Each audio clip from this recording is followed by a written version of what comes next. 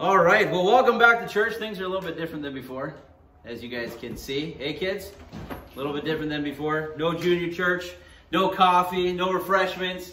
Uh, but we're glad you're here. We're glad we could open our doors. You guys are the second uh, wave. Um, and there were supposed to be more people here. They just canceled this morning. So don't feel like, man, I'm coming to the most pathetic church service in history uh, because you're not. Um, but we are glad that you guys are here.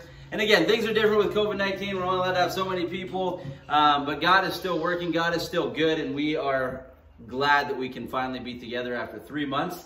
Uh, I'm glad to see faces and have faces to preach to uh, yet again instead of looking at a camera that shows only my ugly mug. So um, if you guys have Bibles, we're in First John chapter 3. And if you, uh, as you guys turn in your Bibles to First John chapter 3, we, um, we have covered a lot of ground. And to, to get to chapter 3, we've covered a lot of theology, and I hope that you guys have been able to follow along with us online as we work through uh, the first parts. Otherwise, you guys may come in this morning and be like, oh, I don't know what you're talking about. And that's okay. Hopefully, we'll be able to still draw some applications. We bring ourselves uh, to the same place in the scriptures this morning. So, First John chapter 3, we're going to be in verses 4 through 10. And if you think about the world in which we live today, it doesn't take long to see that the world is full of things and people that really don't love or care about God. You guys agree with that? Look at the world that we live in. There's a lot of people that, that could care less about God. We have seen God removed from schools and from uh, from other institutions, and we've watched society run almost full tilt the other way away from God. And yet we find ourselves this morning as we begin to open the Word of God as, as human beings having the tendency to want to kind of make that okay. We want to make sin not as bad as it is. We want to justify it. We want to lessen its intensity and severity. And the reason I know that is because we were all kids at one point in time, were we not? Some of you guys are kids here this morning. I can ask the kids in church this morning, how many of you guys have ever done something you got in trouble for? Okay. Is that kind of maybe? You don't know? Yeah, I'm sure we all have. We all have, right? So let me just ask you this. If you guys got in trouble, my kids are in the back too, they can answer too. If you guys and the adults too, when you were when you were a kid and you got in trouble for something, did you ever try to make it like it wasn't that big of a deal? Anybody? I did. It was like my go-to default response as a child, right? I'm just, uh, I'm not going to make it as bad. Daddy, you're really overreacting. It's really not that bad. I know, Dad, I just tried to light the neighbor's lot on fire. It really wasn't that bad. Nothing happened. We try to lessen what we did. Or if, let's say, for example, like when we were kids, how many of you guys ever got caught telling a lie? Everybody kind of sheepishly raised their hand. Did you guys ever try to make an excuse for the lie you told? I don't know everything. You don't know everything? That's okay.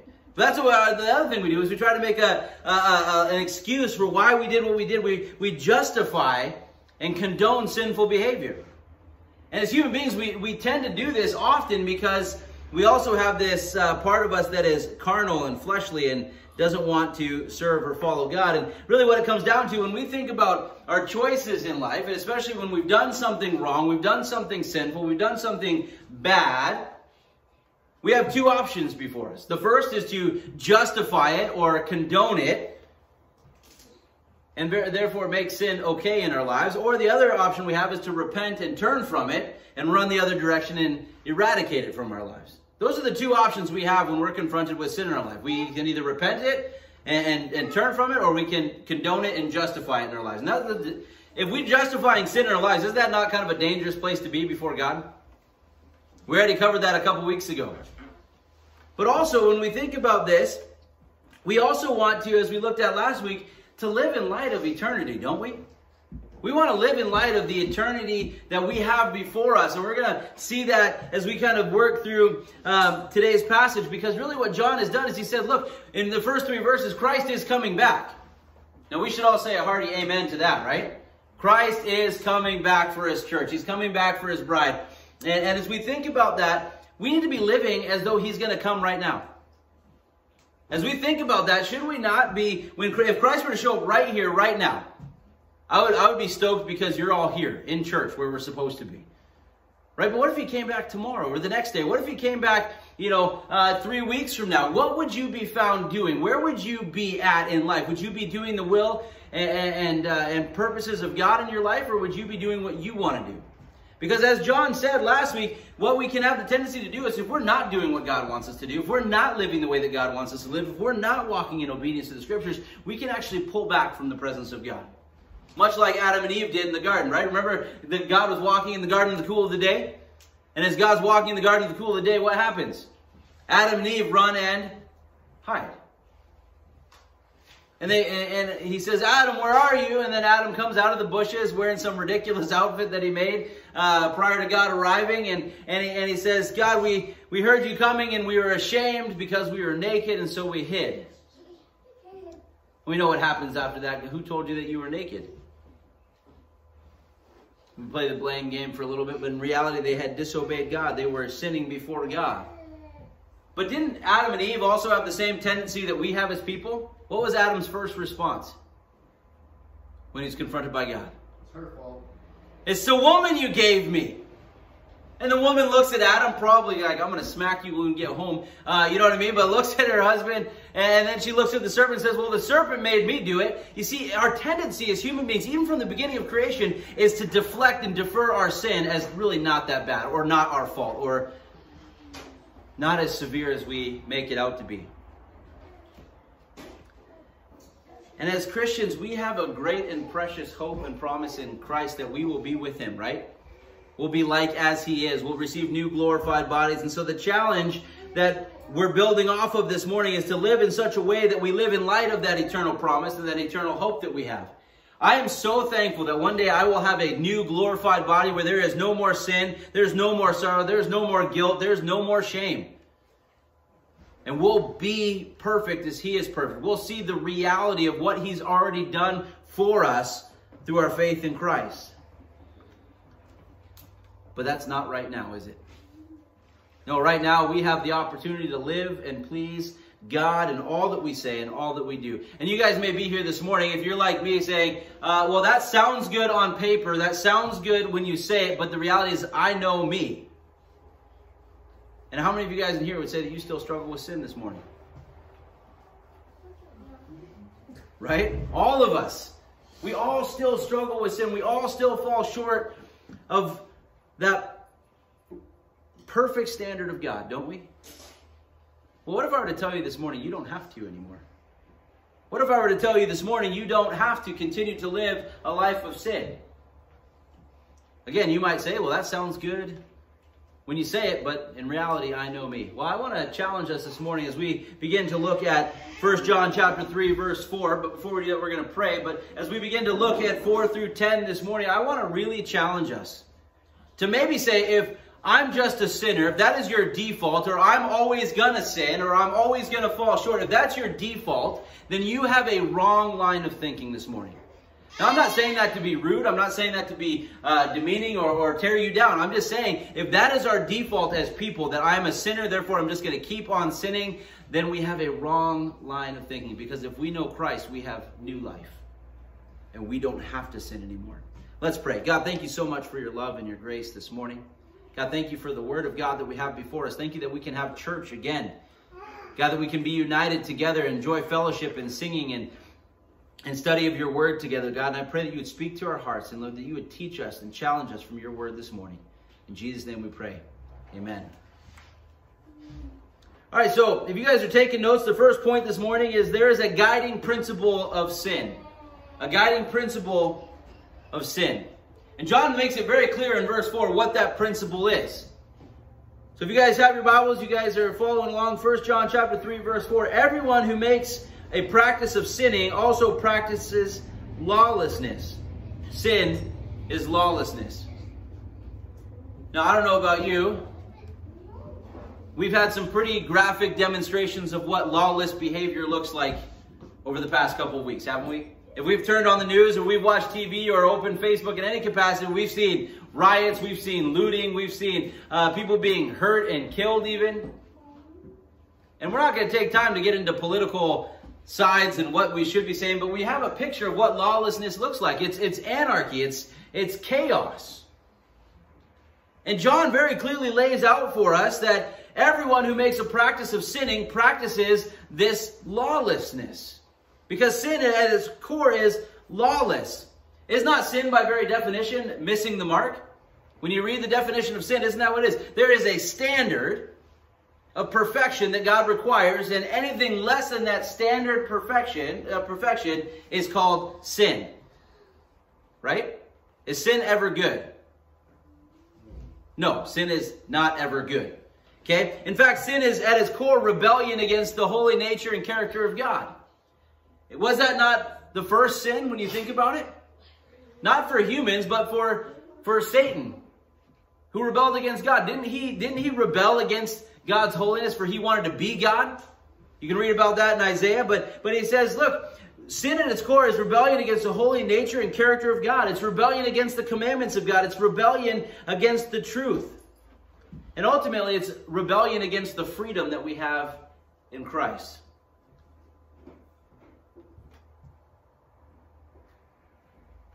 Zane C. Hodges writes, John now wrote about the sin which stands in opposition to the purity he had just referred to in verse 3. The NIV renders the statement, everyone who sins breaks the law. In fact, sin is lawlessness. Usually, in the Greek New Testament, anomia in, is a general term, like the, like the English word wickedness, which has some prominence uh, in an eschatological context. That's talking about the end times. So it is used here so soon after references to the Antichrist may have been significant. The writer probably intended to, it to be a strongly pejorative or that is expressing contempt or disapproval description of sin. It seems likely in this view that 1 John 3, 7, that the Antichrist had softened the view of sin which John wished to refute. A person who sins does what is wicked, and sin is wickedness. John was now insisting sin must not be taken lightly. I just want to focus on that last part of that quote. John is now insisting that sin must not be taken lightly. We cannot ever sit there and go, oh, sin, it's really not that big of a deal. Because if God hates it, we should hate it. If sin separates us from God and ultimately will break our fellowship with Christ, then we should hate it and we should not want to have anything to do with it. Proverbs chapter 24, verse 9 says, the devising of folly is sin, and the scoffer is an abomination to mankind. Now, I said in the last service, and I'll say it now, all sin is an abomination before God.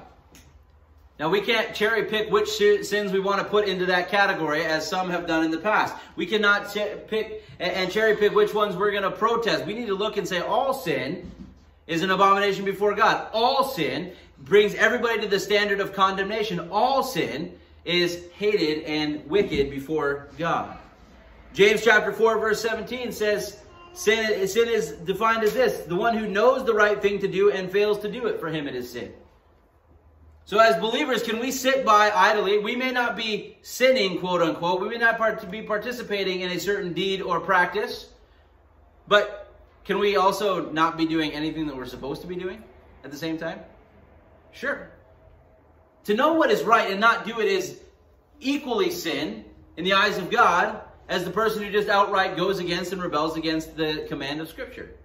You see, that's important for us to remember because a lot of times we as Christians can become comfortable and complacent and really not do what we know we're supposed to do, what was the right thing to do. And John, uh, James simply says that is sin. John chapter, 1 John chapter 5, verse 17 says, all wrongdoing is sin. But there is sin that does not lead to death. What does the Bible say the wage of sin is? Right? Romans chapter 6, verse 23 tells us the wage of sin is death, but the gift of God is eternal life. Now, would you guys all agree that there are sins that don't lead to death? Yeah. Everybody say yes. You know why? You're all sitting here this morning. Okay, we're all here this morning. Or if you're watching online, you're in your couch this morning, you're wherever you're watching this, there are sins that don't lead to death. But does it make it any less of an abomination before God? Does it make it any less hated by God? No. You see, the Word of God needs to be the authority over our thoughts and opinion and over our lives and everything we do. This book that God has given us is, to, is designed to be the authority over our lives. We are accountable to this. We are accountable to have spent time in this, to have read this, to have applied this to our lives so that we can live the life that He wants us to live. And really, that's what the next verse talks about in verse 5. Look at sin in light of who Christ is and what He's done. Now, I want to start, uh, we're going to read the verse, then we're going to start at the back and work our way forwards. We're going to do a little loop-de-loop here. First John chapter 3, verse 5 says, You know that he appeared in order to take away sins, and in him there is no sin. Now, this is a very simple and straightforward verse. I like this verse because it reminds us of the fact that, uh, as we're going to look at first here, there is no sin in Christ. None whatsoever. He was perfect in every way. Hebrews chapter 4, verses 15 and 16 tells us, For we do not have a high priest who is unable to sympathize with our weakness, but one who in every respect has been tempted as we are, yet without sin. Let us then, with confidence, draw near to the throne of grace that we may receive mercy and find grace to help in our time of need. Now, how many of us have ever looked at verse 16? Let us with confidence then draw near to the throne of God that we may find grace and obtain mercy to help in our time of need. How many of you guys have ever read that verse before? Anybody? Okay, two of you. I know there's not that many people, but we can still raise our hands and interact, okay? How many of you guys have ever used that verse to encourage somebody? I know as a pastor, I have often. Hey, we have grace and mercy at our disposal if we just simply go and ask God for it.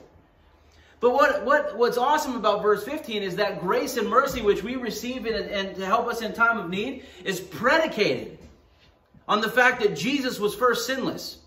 That he was tempted like as we are, yet without sin. So he knows what you're going through. He knows the temptation that's at your doorstep. He understands and gets the, the, the hardship that you're facing and the, the, the contemplations with your flesh and carnality to go back to sin and enslave ourselves once again. The author of Hebrews got that. And he said, look, we have confidence in Christ because he's been where we've been. He's experienced what we're experiencing. He's gone through it. And now he stands as one who is without sin, able to give us grace and mercy to help in our time of need.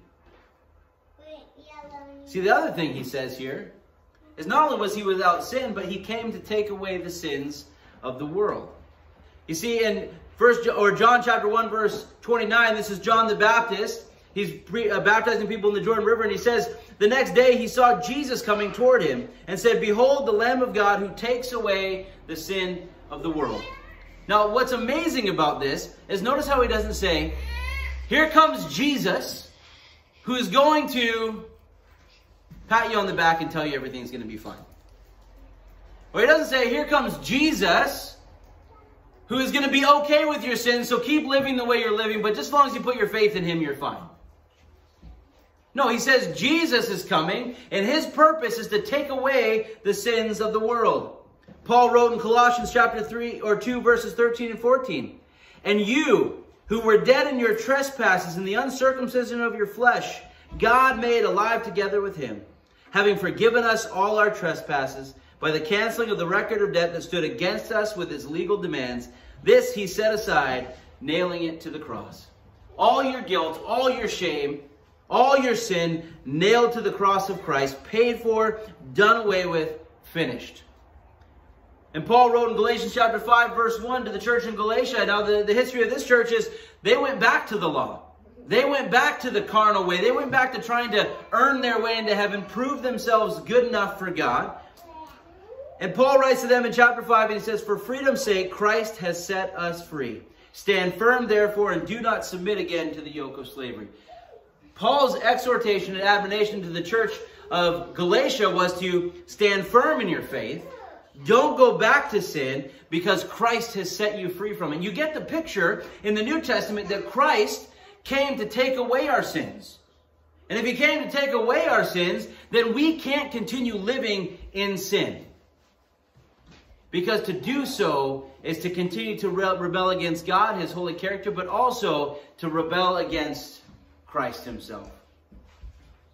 So how do we deal with this problem? Because as we already stated, how many of us have sinned this week? How many of us maybe even sinned this morning? How many of us have struggled with sin since the day we gave our lives to Christ? All of us, every single one of us. There's not one person who has given their life to Christ that doesn't wrestle with their flesh, that doesn't wrestle against the enemy who is coming and tempting our flesh, inciting our flesh to do the things that God would not have us do. And what John says next in verses in verse 6 is that we cannot say we abide in Christ and yet continue to sin. In verse 6 he said, No one who abides in him keeps on sinning. No one who keeps on sinning has either seen him or known him. Hold on a second. What did he just say? Have you guys ever read this verse and gone, No one who abides in him keeps on sinning? So when I first read this as a young believer, I began to say, so because I sinned, am I no longer in Christ? Because I've sinned, am I no longer knowing him? You see, a lot of a lot of people take this verse and they say, see, right here, you can lose your salvation. I don't think that's what John's talking about. I don't think that's John's heartbeat here. Now, how many of you guys are familiar with the idea that oil and water don't mix? We're all familiar with this? Okay. Now, I make uh, balsamic vinaigrette. It's salad dressing. And one of the things you do is you pour the balsamic vinegar and then you pour the oil in. And, and what you notice in a jar, have you guys ever made this kind of dressing before? Okay, what happens is the oil separates from the vinegar, right? And then what I do is I put in a little bit of Dijon mustard, some honey, and some other seasonings in there. And you put a lid on it, you shake it up. You shake it up until it all comes together, right? You guys ever done this before? And then what happens? The oil and the vinegar, they mix together. Before they were separate, but now they're mixed together.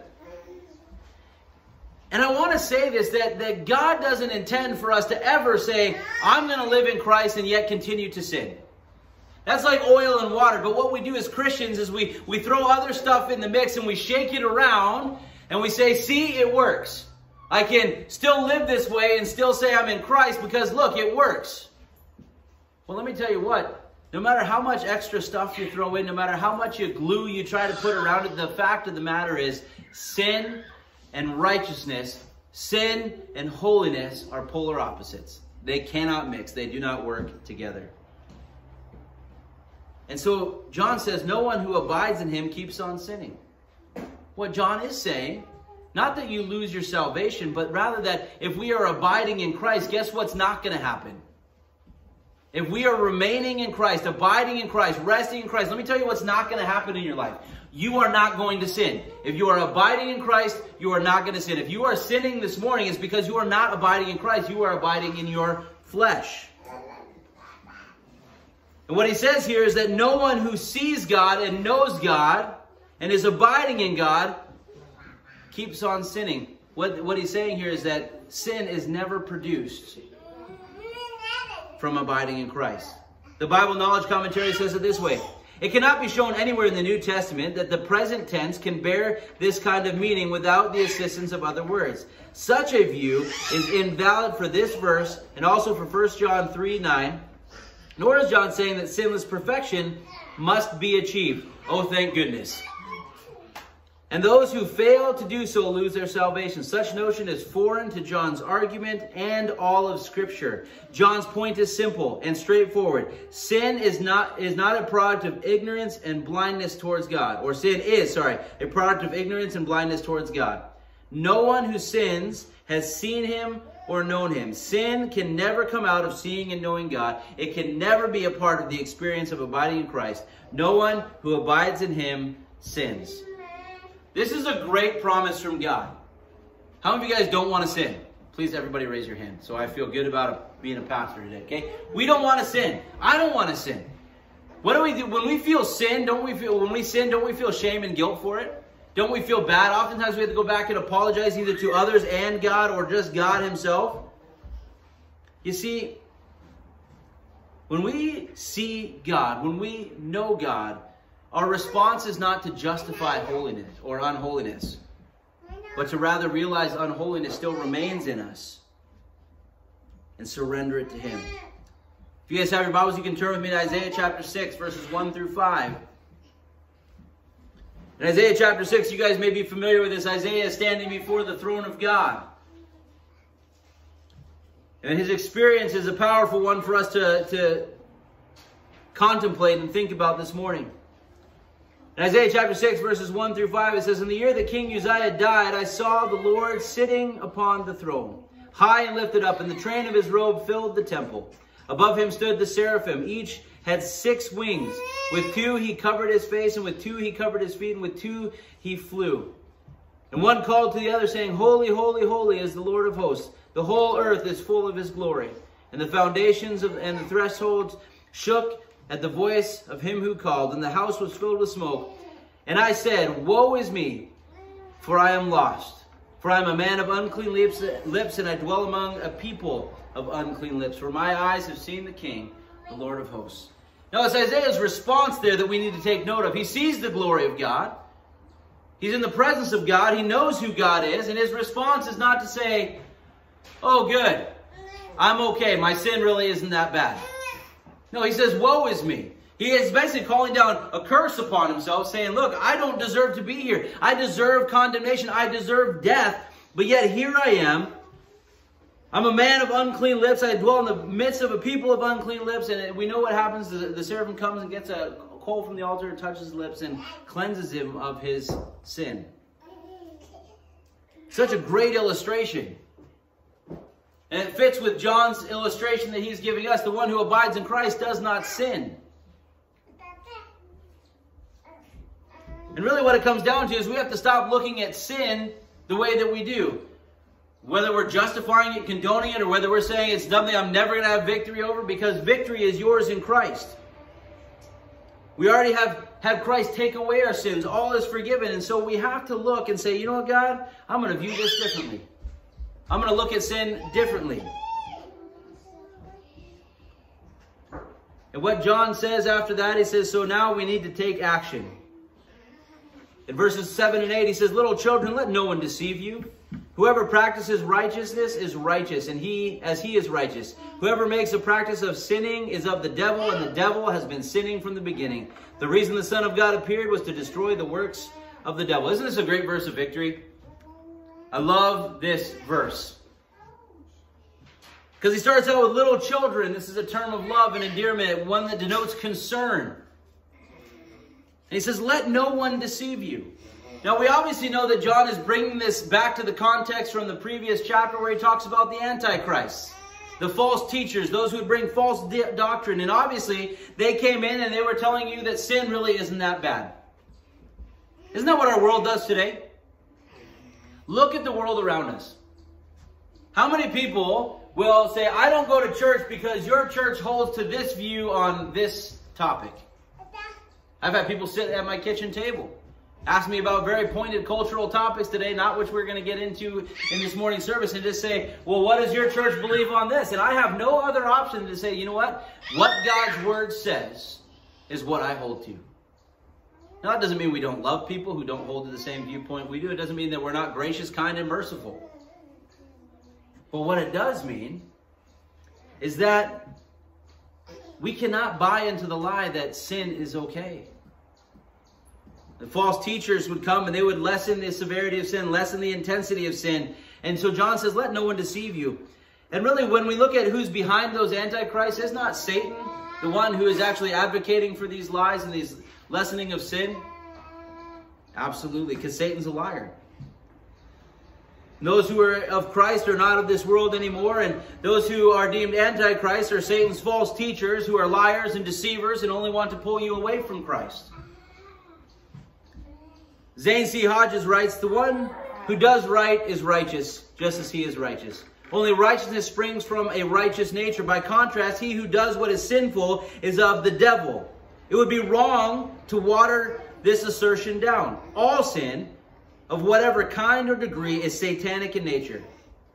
It is because the devil has been sinning from the beginning. Sin originated with Satan and, and, is his, and is his constant practice. To take part in sin at all is to take part in his activity. It is also to it is also opposing the work of the Son of God who came to put an end to that activity, the devil's work.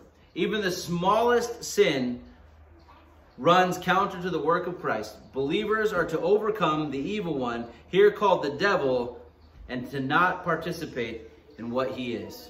I love the way Zane C. Hodges wrote that. any sin of the smallest degree or severity is to participate in the satanic work of our enemy. Now, we need to think about sin that way. Not as it's okay or make an excuse or try to condone or try to lessen the severity. We need to look at it as, man, if I am choosing sin over the righteousness which I have in Christ, then we have a problem because I am choosing to follow the enemy rather than my Savior.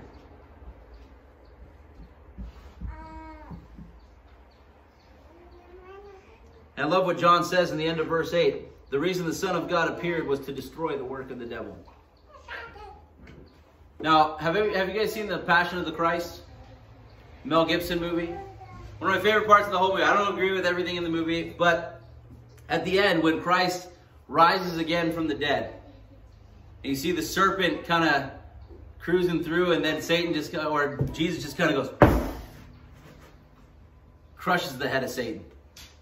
I just love that depiction because that's what Christ did. Christ destroyed the work of the devil, the works of the devil. He put an end to them. Well, why is sin still around? Why is sin still prevalent in my life? Eh, the only reason sin is around is because people still follow Satan. And the only reason sin exists in our life is because we allow it to be there. We allow Satan to work in our hearts and our lives rather than trusting God. Sin is alive in us only because we allow it to be because we choose sin over the righteousness and life that Christ has put within us. The perfect nature of Christ will never produce sin. Again, John is reiterating this point in verses 9 and 10 when he says, No one born of God makes a practice of sinning. For God's seed abides in him, and he cannot keep sinning because he has been born of God. By, by this it is evident who are the children of God and who are the children of the devil. Whoever does Whoever does not practice righteousness is not of God, nor is the one who does not love his brother. So no one born of God makes a practice of sinning. Literally in the King James and in the Greek, it would say, whoever has been born of God does not sin. Now, how many of you guys would say you're born of God? How many of you guys would say, I don't sin? We all put our hands down. We just put our hands down. You see, what we need to realize here is when we put our faith and trust in Jesus Christ, not only were we forgiven our sins, we were given new life. Paul wrote to the church in Corinth and says, We are new creatures in Christ. Behold, the old has passed away and the new has come. We're new creatures in Christ. We've been given new life. In fact, he says, It is because the seed of God abides in us that we don't sin. And it's this point that he keeps making over and over again. If we are abiding in Christ, we are resting in Christ, remaining in Christ, then what happens is we don't sin. We sin when we choose to leave the fellowship we have with Jesus. That's what he said in the second part of verse 9. For his seed remains in him and he cannot sin.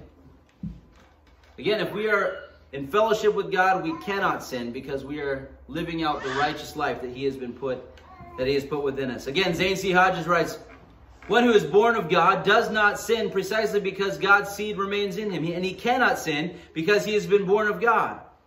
God's seed is his nature given to each believer at salvation. The point here is that the child of God, or that the child partakes in the nature of the parent.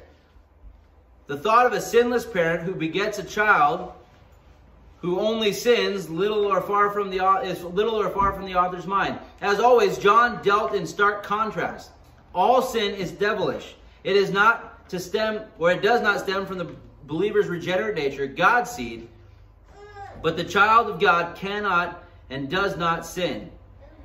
The explanation here is the same that was given in verse 6. The new man is absolutely perfect, is an absolutely perfect new creation. By insisting on this point, John was seeking to refute the false conception about sin. Sin is not, nor can ever be, anything but satanic. It can never spring from what a Christian truly is at the level of his regenerate being. I like that last, I always love the sentences that they end with. Sin is not, nor ever can be, anything but satanic. It can never spring from what a Christian truly is at the level of his regenerate being. You cannot produce sin from righteousness. God's life that He's given us is perfectly righteous. And so when we are functioning in that, it will never produce sin. A good illustration of this is found in James chapter 3, verses 11 and 12. If you guys are familiar with James chapter 3, it's talking about taming the tongue. How many of you guys have ever said something you wish you could take back? I could raise my hand all day for that one, right?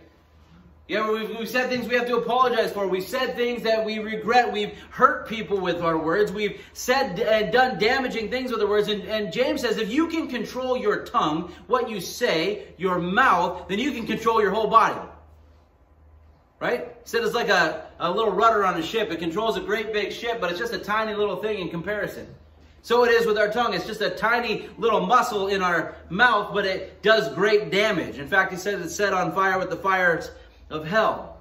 And when he's done explaining to us, he gets to verse 11 and 12. And he says, what we need to do is function in that regenerate new life, even in all areas of our life, even in what we say. And he says, does not a spring pour forth from the same opening both fresh, or does a spring pour forth from the same opening both fresh and salt water? No, right? We hope it doesn't, right? Can a fig tree, my brothers, bear olives or a grapevine produce figs? Neither can a salt pond yield fresh water. So what he says here, he says, look, this is the illustration. This is the point. If we are abiding and functioning in Christ, we cannot produce anything other than righteousness in our lives. And he says, and this is evident. He says, you can tell who knows God and who doesn't. Because the one who knows God are the ones who practice righteousness. The ones who don't practice righteousness are the children of the devil.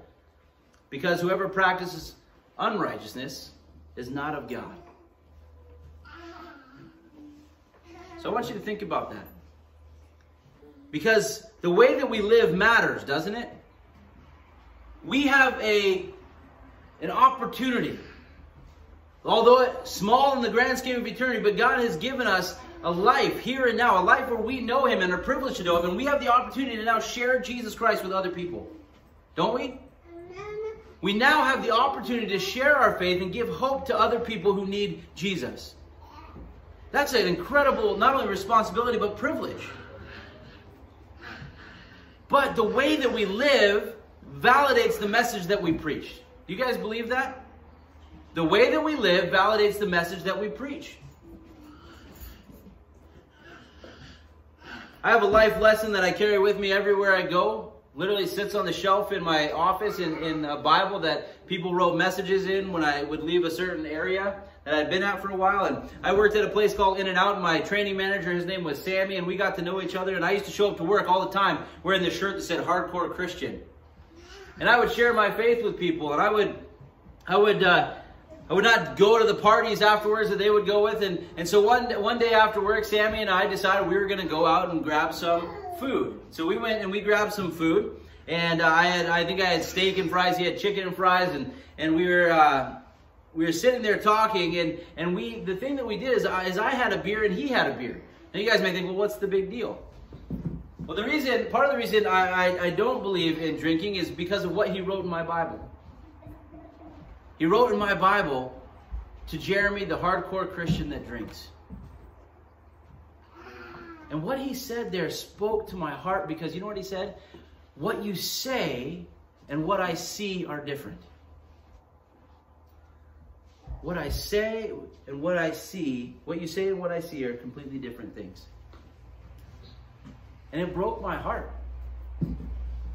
Because as Christians, we shouldn't want to ever put forth a picture of anything other than Christ. We should not want to live in such a way that we do anything other than glorify Christ. We should, at every level of our lives with Jesus Christ, desire to live in such a way that it validates the message that we're preaching, the message that we're sharing with other people. That's the call of John here. Live in such a way that it represents and reflects the message that you preach. Because let me tell you what, can a good message be destroyed by somebody who doesn't live out the message of Jesus? I remember when uh, when the George Floyd riots were happening. And I, I was, we were on a walk and I, I was talking with Dave there. And you know what I said? I said, Dave, I said, they may have a very valid message that things need to change, that things need to be different.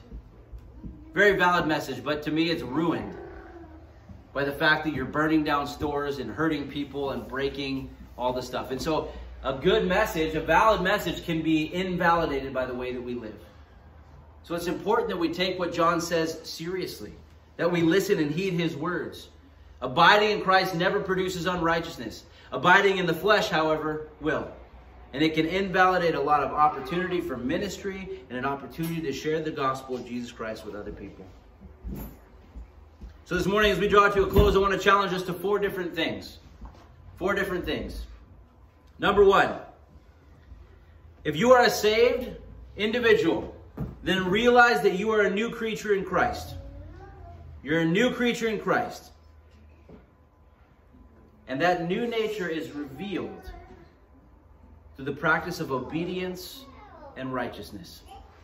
You reveal who you are in Christ as you obey and practice righteousness. The second thing I want you to take home with you today is to never downplay the severity of sin. All sin is satanic and needs to be viewed severely. Never downplay the severity of sin. Don't justify it, don't condone it, don't make it okay. The third thing I want you to take away is seek to live in such a way that who you are in Christ is manifested in every area of your life. Whether that's with your family, whether that's in your workplace, whether that's uh, when you're having coffee with your friends, whether it's say you're out on your boat fishing, whatever it is you're doing, are we manifesting the reality of who we are in Christ? And the fourth thing I want you to take home is that this world needs Christians who walk worthy of the manner in which they've been called. This world needs Christians to be like Christ so that they can see Jesus at work in us. God, thank you so much for your love and your grace and your mercy. God, thank you so much for all that you've done and all that you continue to do in and through us.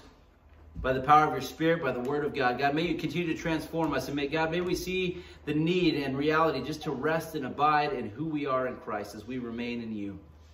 God, thank you so much for the new life that we have. May we live it as we go forth from this place. In Jesus' name we pray. Amen.